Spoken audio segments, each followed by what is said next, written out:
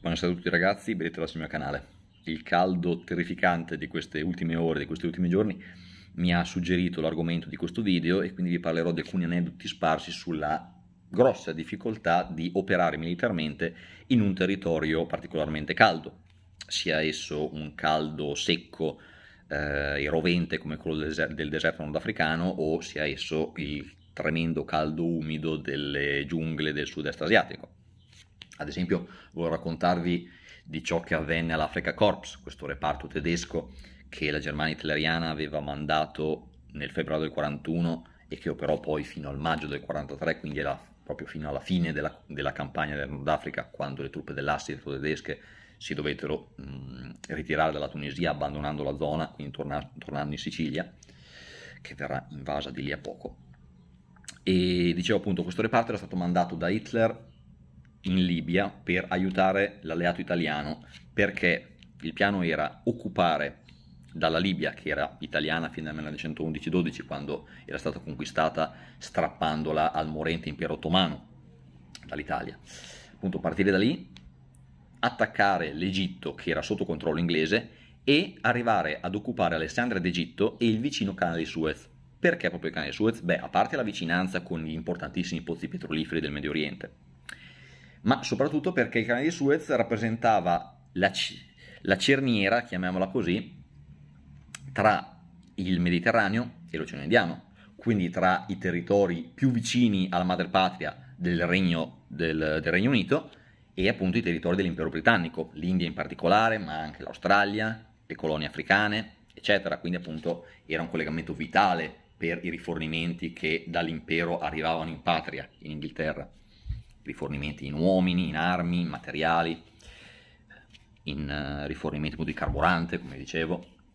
e quindi appunto era di vitale importanza occupare questa zona. L'Italia non ce la faceva da sola per problemi eh, di carattere strategico, purtroppo mh, mm, i nostri comandanti erano abbastanza scarsi, in particolare ricordiamo il maresciallo Graziani, uomo particolarmente fedele al duce, uomo mh, mm, però appunto più politico che... Eh, stratega era arrivato dove era arrivato più che altro per, appunto, per meriti politici, diciamo. Infatti poi lo ritroveremo a comandare l'esercito di Salò, l'esercito nazionale repubblicano. Però appunto purtroppo nella campagna nordafricana si dimostrò abbastanza scarso. E, e allora appunto Hitler decise di aiutare l'alleato italiano mandando questo reparto. Ecco, diciamo che reparto principalmente corazzato. Tra l'altro diciamo che i tedeschi non sono proprio l'etnia più adatta a combattere in un teatro così caldo. Le canzoni, appunto le marce di questa Africa Corps riportano continuamente, tornano sempre sul tema del caldo rovente, del fatto che lì non c'era traccia di neve, non c'era traccia di assolutamente, figuriamoci, di, di, di ragazze bionde, ci sono, ci sono, appunto canzoni dell'epoca che, che parlano proprio di, di questi argomenti, ecco come tema principale, non tanto la battaglia, la gloria del combattimento, il deserto, no, appunto questioni meteorologiche e di popolazione. E allora, come dicevo appunto, ebbero particolari problemi. La maggior parte delle perdite subite dall'Africa Corps, almeno nei primi tempi, fu dovuta non tanto ai combattimenti con gli inglesi, quanto piuttosto per motivi climatici, appunto i soldati non riuscivano ad acclimatarsi facilmente e quindi erano colpiti da malattie, da insolazioni, erano, erano colpiti da dissenteria perché bevevano l'acqua che trovavano e quindi spesso quest'acqua era, era inquinata e quindi, e quindi appunto ebbero particolari problemi. Le divise appunto corte perché bisognava, stare, bisognava appunto sopportare il caldo, ma poi bisognava allungarle perché, le, soprattutto i pantaloni, perché le gambe dei soldati si ferivano una volta che questi si dovevano buttare a terra eh, tra i sassi del deserto. Poi il problema dei carri armati, chiaramente fare la guerra nel deserto con i carri armati eh, è molto problematico perché il nemico ti vede da chilometri e chilometri che le tue colonne alzano un polverone infinito. Quindi anche questo problema dell'effetto sorpresa è decisamente, decisamente importante. E appunto si, si, riporta questo aneddoto che voglio raccontarvi dei soldati tedeschi che sul fronte nordafricano si trovavano spesso, ci sono anche molte foto a testimoniare questa, questa vicenda, si trovavano spesso a farsi le uova direttamente sulla corazza dei loro carri. Era così roventi che erano delle padelle in pratica, quindi rendiamoci conto cosa dovesse essere fare la guerra in quelle condizioni. e beh, gli inglesi comunque anch'essi, mh, etnia abituata più che altro a un clima piovoso e freschino, eh, non erano anche loro proprio del tutto a loro agio, certo avevano avuto, avevano avuto molte esperienze nell'impero, in India avevano imparato dai, già da molto tempo dai locali a bere tè caldo anche appunto in un clima rovente per, per non sudare, si erano abituati, cioè, avevano preso questa abitudine, però ecco non si trovavano del tutto a nel deserto egiziano e quindi molto spesso si trovavano questi soldati inglesi magari di seconda linea, quindi artiglieri, mm, uomini dell'amministrazione, cose così, pressoché nudi con i gradi appiccicati sulle spalle con lo scotch, quindi insomma, perché appunto poveretti anche loro non avevano, non avevano divise, divise particolarmente adatte al teatro di guerra. Gli italiani se la cavavano un po' meglio, ma perché avevano avuto um, l'esperienza appunto della, dell'Africa orientale, questo nostro, quella che ai tempi era l'Abissinia, Etiopia, Eritrea, Somalia, quello che è stato il nostro effimero impero italiano, conquistato appunto tra la fine dell'Ottocento e soprattutto nella guerra d'Etiopia 1935-36. Però anche lì mh, non fu bisognava andare avanti per esperimenti. Ad esempio, quando le truppe italiane nell'ottobre del 35 sbarcarono a Massawa per poi, quindi dall'Italia arrivarono via nave in Africa e da lì per arrivare al teatro di guerra che si prolungò fino al maggio del 1936, quando finalmente appunto la capitale etiope venne occupata di Sabeba e l'impero venne fondato. Durò fino al 41, quando, quando appunto le confinanti colonie eh, inglesi la schiacciarono questa, questa nostra Abissinia. A tal proposito si ricorda la, la resistenza mitica del, del, duca d'Aosta, Amedeo, che era appunto viceré d'Etiopia e decise di resistere coi suoi per un sacco di tempo sull'Ambalagi, questa montagna etiope, finché appunto non, non, se ne poteva più e si dovette arrendere. Morì poi eh, prigioniero degli inglesi di malaria in Kenya come purtroppo molti dei nostri, dei nostri, soldati.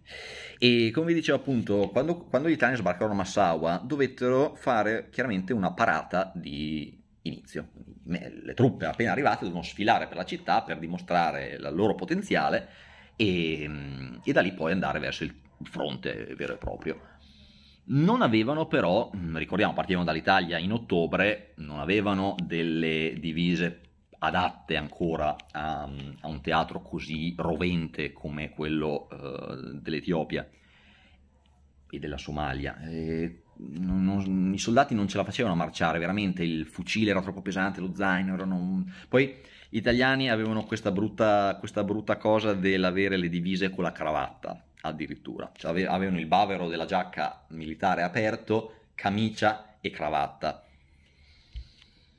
non molto comodo, molto chic, è molto Italian style per carità, però ecco, diciamo non era il massimo. Dopo, infatti, verso la fine della guerra e soprattutto nelle truppe della Repubblica Sociale Italiana, questa cosa venne persa. Però, appunto, ecco, diciamo che mh, sfilare con questo clima e con tutto l'equipaggiamento era impossibile. I soldati veramente non ce la facevano.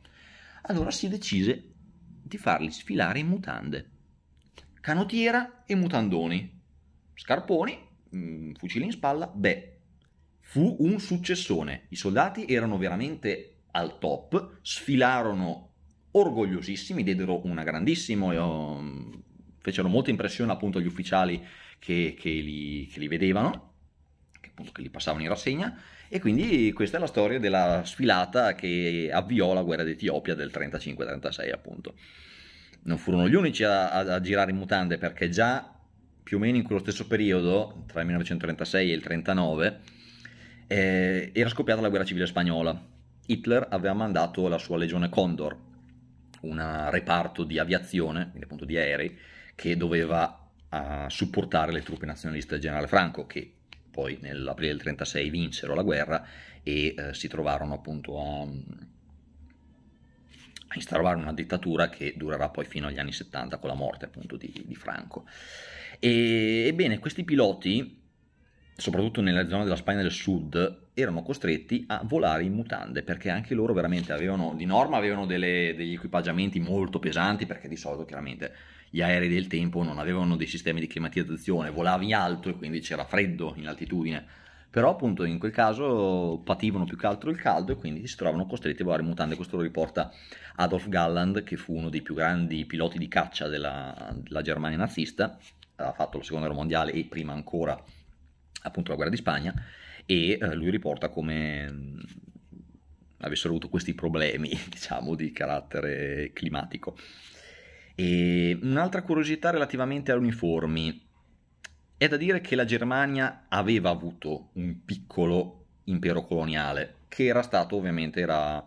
era stato sciolto nel 1918 con la sconfitta Prima Guerra Mondiale. La Germania ha perso le sue colonie, la Namibia, la Tanzania, ehm, il Togo, quelle zone lì appunto dell'Africa centrale, centro, centro-ovest, centro-sud. E, ehm, però appunto avevano dei reparti coloniali e questi reparti erano comunque vestiti come si conveniva. Finito l'impero, restarono nei magazzini moltissime divise color sabbia, color cachi si dice,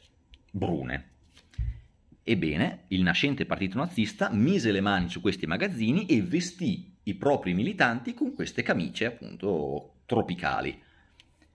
Ed ecco nata la camicia bruna, simbolo appunto dei, dei, militanti nazisti, in particolare delle SA, le squadre d'assalto, le Sturmabteilung, che erano la forza paramilitare di Hitler nei primissimi tempi della sua salita al potere, erano state fondate intorno al 2021 e, e appunto poi durarono fino a circa il 1934 quando erano diventate troppo scomode per il regime quindi si provvide a epurarle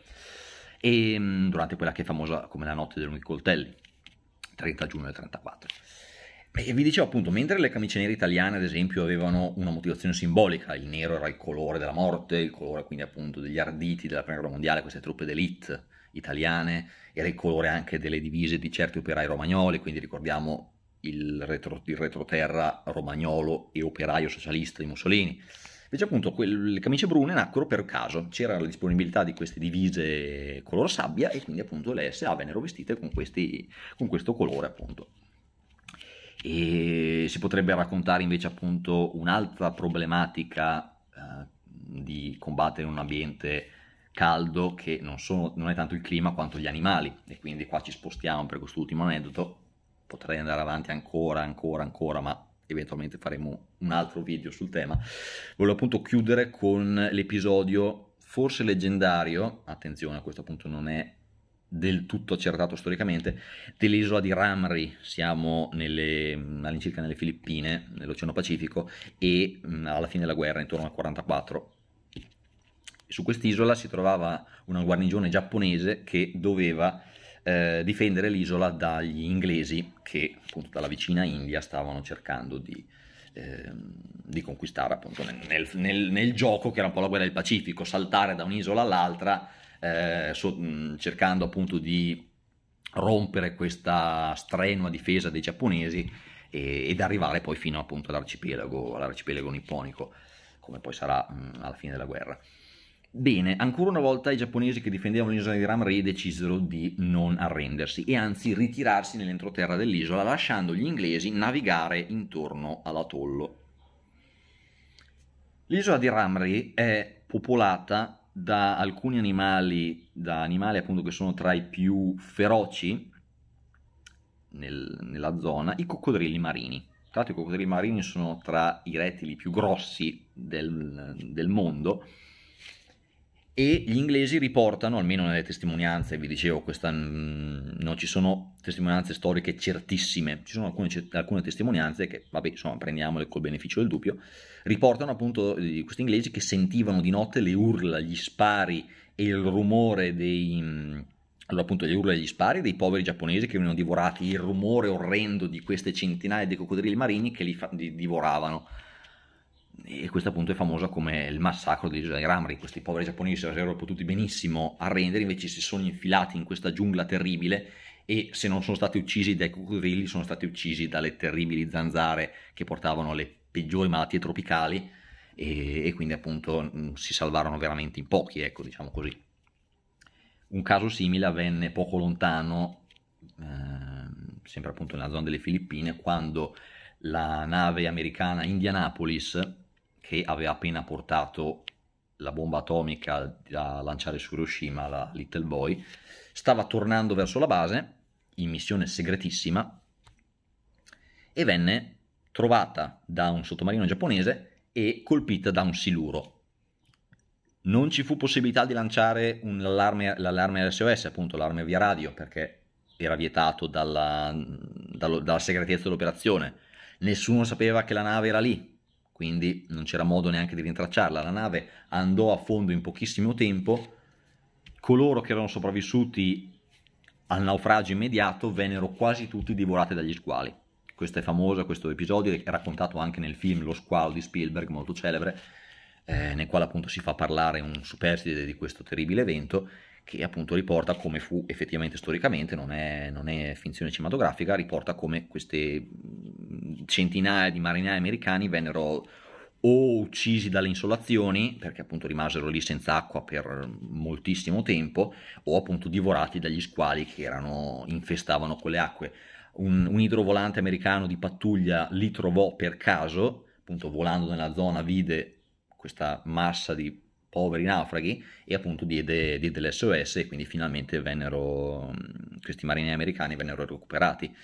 Il comandante della nave venne sottoposto a numerosissime inchieste perché appunto si cercò di scaricare la colpa solo su di lui, che poveretto si era limitato a eseguire gli ordini, anzi a suo svantaggio, tanto che addirittura anni dopo la guerra, per il peso di questa umiliazione, perché era poi stato cacciato dalla marina, eccetera, si suicidò e c'è stata poi tempo dopo una, un ulteriore processo che l'ha riabilitato totalmente, quindi togliendogli ogni responsabilità. Eh, queste sono Spesso accade, accade durante le guerre mm, una situazione di questo tipo. Io vi ringrazio, come sempre, ho concluso, vi ringrazio per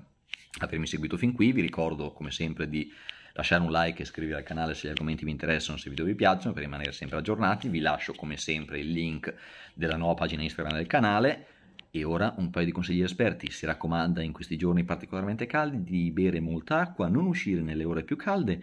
di indossare abiti leggeri e eventualmente chiari. Io vi auguro buona serata, ciao, a presto.